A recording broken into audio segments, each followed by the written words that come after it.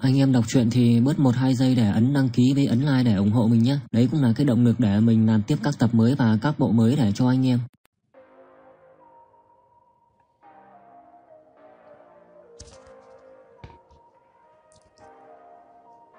Ừm, cảnh giường chiếu đâu, cảnh giường chiếu đâu. Hay, sách hay, đặc sắc quá. Trời ơi, không ngờ còn có tranh minh họa, vẽ tuyệt quá, hay quá. Thế ông có đồng ý xuất bản quyển sách này của bọn ta hay không? Đương nhiên. Ông chỉ tùy ý lật xem vài đoạn mà đã nghĩ quyển sách này hay tuyệt thế hay sao? Ta đã đọc qua vô số sách, trong lòng đã như là giếng khô không gợn sóng. Nhưng vài phân đoạn này, nhưng vài phân đoạn nào đó của quyển sách này đến ta còn phải dậy sóng trong lòng. Đương nhiên là sách hay tuyệt thế rồi. Thế ông không sợ bị Trúc Văn Họa chặn kế sinh nhai hay sao? Ơi, một người bán tranh sách người lớn như ta, còn sợ bị hắn ta chặn kế sinh nhai hay sao? Bán, bán tranh sách người lớn. Đừng nghĩ mấy phường sách kia cao cao tại thượng, nói đến kênh phát hành, thì phải là ông chủ đặng đây. Đặng Tiền, người bán tranh sách người lớn, số 1 của thành Nan Sơn, ngay cả tiệm quan tài còn có sản phẩm của ông ta. Thậm chí hàng của ông ta đã phủ khắp hai mươi mấy thành, ở 4 năm quận xung quanh. Tác phẩm hay thế này chắc chắn là bán rất chạy.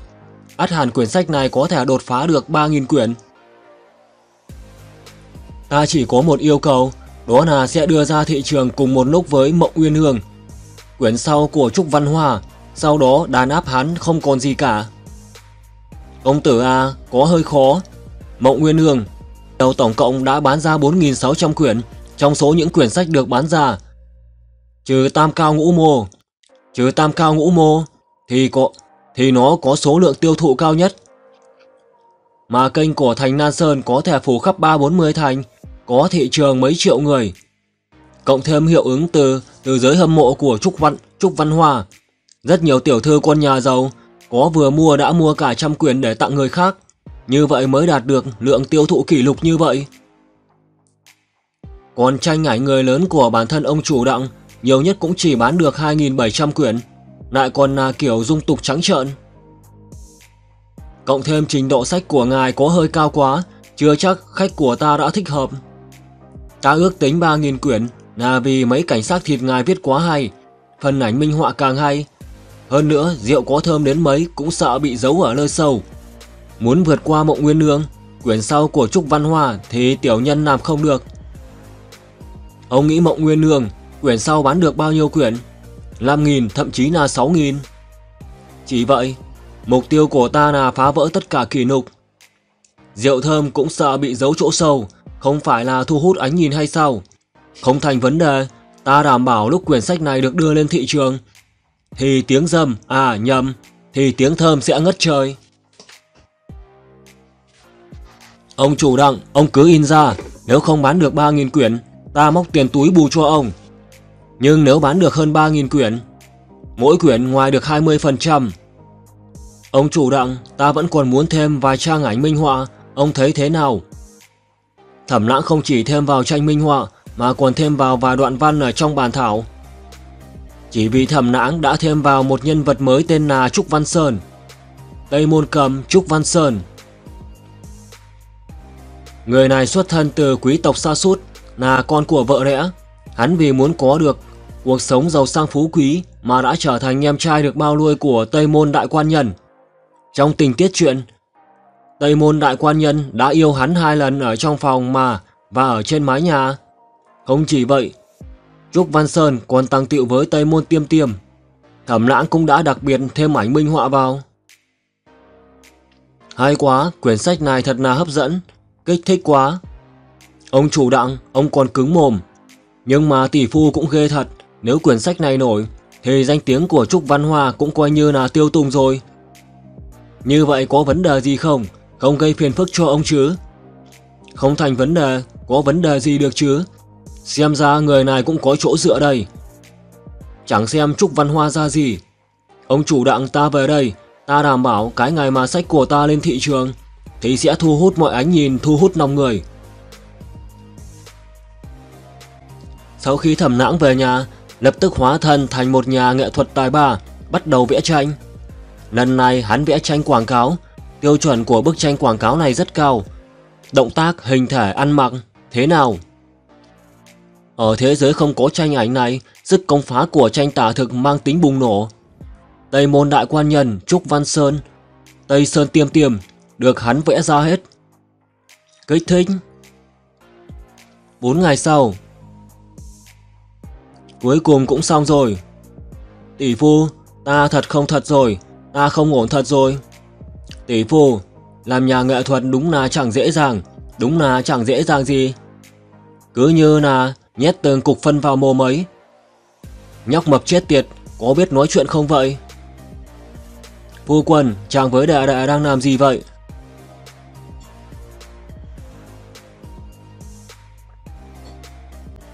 Thì ra phu quân thích những thứ này. Mộc Nan không phải như vậy đâu, là nghe ta giải thích đã. Thẩm nãng cố gắng chuẩn bị tuyên truyền tranh quảng cáo. Còn đặng tiền thì dùng hết nhân lực, vật lực, áp dụng phương pháp in chiếc, in thiếc mới nhất, cuối cùng đã hoàn thành trước khi đem bán tác phẩm. 10 năm ngày sau, Phong Nguyệt Vô Biên do Thẩm Nãng với Kim Mộc Thông cùng viết và Mộng Nguyên Hương, quyển 6 của Trúc Văn Hoa cùng nhau lên thị trường. Mọi người đừng vội, Mộng Nguyên Hương. Quyển sau hàng sẵn có đủ, ai cũng có thể mua được. Nhìn đi xem đi, cho một cái bánh chiên cuốn đi. Quạt gấp chủ đề Mộng Nguyên Hương, tiểu thư có muốn mua một cái hay không? Trúc Nang đúng là kỳ tài, viết hay quá đi mất. Đúng vậy, bài thơ mở đầu, đúng là nột tả hết mùi vị của thế gian. Quả không hổ là tài tử số 1 của thành Nan Sơn. Hôm nay sách mới được bán ra. Sao Trúc công tử không tới nhỉ? Ta muốn được gặp công tử một Ta muốn được gặp công tử một lần quá. Trúc công tử nào phải người lông cạn như vậy chứ? Công tử là người rất cao ngạo. Công tử chỉ quan tâm đến việc viết ra những tác phẩm hay nhất. Căn bản không thèm để ý đến lượng bán ra. Thậm chí không để ý đến có ai đọc hay không. Thứ người hâm mộ thấp hèn xấu xí như các người mà cũng xứng nhớ nhung đến ta. Các người chỉ làm để... Các người chỉ là làm lên để nâng cao danh tiếng cho ta. Đứng dưới ánh hào quang sáng chói của ta mà thôi. Chỉ có người tài sắc vẹn toàn, thế ra hiển hách như là Trương Xuân Hoa mới xứng với ta. Nhìn bên đó kìa.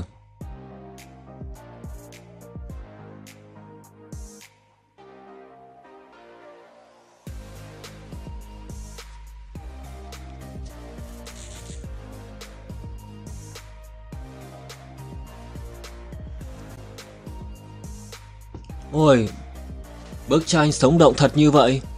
Vẽ đẹp quá đi mất, đang bán sách gì vậy? Đến xem đi. Sách tranh người lớn, chơi lớn vậy sao? Thứ như vậy mà cũng xứng bán ra cùng với mộng nguyên lương của ta hay sao? Phong Nguyệt vô biên, kiệt tác hào môn. Đây đúng là kiệt tác quyền thế do quý tộc hào môn viết ra.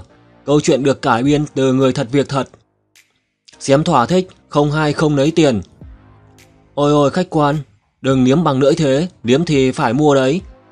60 đồng, mắc gấp 20 lần mộng nguyên hương, gấp mắc gấp 20% mộng nguyên hương. Người không mua thì để ta nào được rồi, ơi chắc chắn nát nữa sẽ bán sạch rồi. Người không muốn mua cũng không mua được đâu. Người không muốn mua cũng mua không được đâu. Sau khi phong nguyệt vô biên được mở bán, cả 30 sạp sách của thành Nan Sơn đều xuất hiện tình huống bán buông tất bán buôn tấp lập mà trước giờ chưa từng có. Quyển sách mới này của Thẩm Lãng đúng là được bán ra điên cuồng, hoàn toàn áp đảo sách của Trúc Văn Hoa. Lời văn xuất sắc của Thẩm Lãng, câu chuyện đặc sắc, xác thịt trần trụi, còn có hình ảnh sống động như thật, đã thành công thu hút ánh nhìn của tất cả mọi người. Thẩm công tử, thẩm công tử, sách bán sạch rồi. Chỉ mới một ngày, đã bán hết 3.000 quyển, 3.000 quyển. Mộng uyên Hương của Trúc Văn Hoa cũng chỉ bán được 5-600 quyển. Trước giờ ta chưa từng thấy sách nào bán chạy như vậy. Đúng, đúng là khó bề tưởng tượng. Thế, thế ông chủ đặng, ông nghĩ sách này của bọn ta cuối cùng có thể bán được bao nhiêu quyển? Chỉ có trời mới biết được. Cùng lúc đó, Trúc Văn Hoa đang ở trong phủ hưởng thụ sự định bỡ của đám bạn, của đám bạn chẳng ra gì của mình. Ơi, Trúc Huynh tài năng như vậy, tiểu thư Trương Xuân Hoa chắc chắn là rất ái mộ huỳnh Bán chạy bán chạy, sách mới bán chạy. Chỉ đến lúc ông chủ của Như Ngọc Các là Trịnh Sương Niên đến. Ông chủ Trịnh đến rồi, lượng bán ra hôm nay thế nào? Ta làm theo yêu cầu của Trúc Công Tử là giới hạn số lượng bán ra. Đúng là lượng bán của Mộng Nguyên Nương, quyển sau cũng không tệ. Trong một canh giờ chúng ta đã bán hết 260 quyển. Cả thành Nan Sơn đã được chuyển khoản 530 quyển. Chỉ là... Chỉ là cái gì? Chỉ là phong nguyệt vô biên, hôm nay đã bán được hơn 3.000 quyển. Sách của tên thẩm nãng, vô dụng không có ăn học đó. Không thể nào, người biết chữ của thành Nan Sơn đâu có bao nhiêu cơ chứ, hơn 3.000 quyển. Mặt trời có mọc từ đằng Tây cũng không thể nào. Đúng vậy, chúc công tử có thể đọc thử. Dùng trạng thái bình thường để đọc. Thứ rách nát này, hả?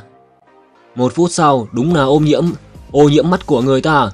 Nửa canh giờ sau, không ngờ lại có thể như vậy. Một canh giờ sau, tiếp theo sẽ như thế nào đây? Tây môn tiêm tiêm thật sự muốn cùng Tây môn. Thứ sách rách nát gì vậy? Thấp hèn dung tục, hoàn toàn dùng lời văn hạ lưu với ảnh minh họa để thu hút người ta. Toàn là mấy thứ chiêu trò bẩn thỉu. Trình độ của quyển sách này thấp kém, dung tục vô cùng. Chắc chắn là người viết ra sách này cũng là loại đạo đức suy tồi. Thứ sách bại hoại phong tục như vậy, trà đạp lên đạo đức của con người. Động cơ không đúng đắn. Hình như người đàn ông ở trong bức tranh minh họa có hơi quen quen. Ừm, cái gì trên mông hắn thế kia? Chắc chắn là phân rồi. Hình như người này, hình như... Cái này, người trong tranh à? quấy phần, thẩm lãng, ngươi dám.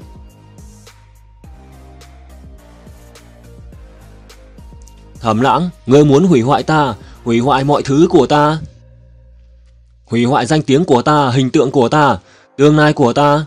Chúng ta không kẻ sống người chết không thôi.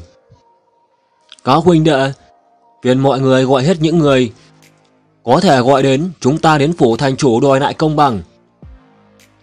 Là người đọc sách, chúng ta có nghĩa vụ quét sạch những thứ dơ bẩn, giữ sạch chính khí, trả lại quỹ đạo bình thường cho người đọc sách ở Lan, ở thành Nan Sơn này. Được. Trúc Văn Hoa này đang muốn tập hợp mọi người, làm lớn chuyện đây, ép thành chủ cấm bán sách của thẩm lãng đây mà. Cùng lúc đó, trong phủ thành chủ thành Nan Sơn. Sách hay quá. Thành chủ thành Nan Sơn, Lý Phương. Thoạt đầu nhìn qua nghĩ là lòe thiên hạ, thấp kém dung tục nhưng đọc kỹ lại là thấu suốt thế sự, hết sức tuyệt vời, có thể nói là đại kiệt tác. Bốn thấy quyển mộng uyên ương của Trúc Văn Hoa trông thú vị hơn, nhưng bây giờ quá là ấu trĩ, quá là dồn tâm sức, quá là già mồm, quá là ra vẻ đúng là chẳng ra gì. Ơi, bức tranh này cũng rất đẹp, Tây môn tiêm tiềm, được lắm, được lắm. Ây à, đêm hôm mà lại làm mất hứng của người ta. Đại nhân không hay rồi, bên ngoài có mấy trăm thư sinh đến bao vây phủ thành chủ. Cái gì? Mấy thư sinh này gây chuyện là chuyện gì mà người làm quan đau đầu nhất? Đám người này không đánh cũng chẳng mắng được. Không xử lý ổn thỏa, không để ý thôi là ảnh hưởng đến thành tích chính trị. Rốt cuộc đã xảy ra chuyện gì? Là do có người gian lận ở trong kỳ thi hay là kẻ ác bá nào đó đánh chết người rồi? Còn nữa kẻ cầm đầu là ai? Là đại tài tử Trúc Văn Hoa. Để cậu ta vào đi. Bái kiến đại nhân. Xin Lý đại nhân hãy cầm quyển sách này, đồng thời bắt kẻ in sách này về hỏi tội, thu hồi và đốt hết chúng, tịch thu phương sách. Sách này thấp kém dung tục, không ra thể thống gì cả, đúng là bôi cho chát chấu, lên học thuyết của thánh nhân. Đầu độc lòng người, làm bại hoại nếp sống xã hội. Ồ, ta thấy chỉ là một quyển sách bình thường, làm gì có chỗ nào phủ định học thuyết của thánh nhân cơ chứ? Hai quyển sách này có chỗ nào công chính triều chính hay chưa? Đây không có, đó cũng không có, Tại sao ta phải cấm nó? Sách này không chỉ dung tục thấp kém, còn nói bóng nói gió ta, hoàn toàn là làm vấy bẩn và trà đạp lên danh tiếng của ta. Chẳng lẽ còn không phạm pháp hay sao? Trúc Văn Sơn trong sách, đúng là, đúng là... Hả, Trúc Văn Sơn, khắp trời đất này người trùng tên nhiều như vậy. Tên na lá như cậu cũng không tính là trùng. Lý thành chủ, ông đang muốn bảo vệ cho thầm lãng. Trúc cử nhân, ta khuyên cậu lên rộng lượng một chút, đừng đố kỵ với tài năng của người khác. Chỉ vì sách của người ta viết hay hơn của cậu, thì muốn chặn kế sinh nhai của người ta. Ta đã đọc quyển Phong Nguyệt Vô Biên này rồi, viết rất hay, hay hơn Mộng Nguyên Nương của cậu không biết đến bao mức, không biết đến mức nào. Ta khuyên cậu hãy tĩnh tâm mà đọc nó đi. Quyển sách này đúng là khiến người ta phải tán thưởng. Ôi Trúc Văn Hoa, cậu đi đâu vậy? Thánh chủ đại nhân, tại hạ đã rõ ý của ông, tại hạ sẽ tự mình đòi lại công bằng.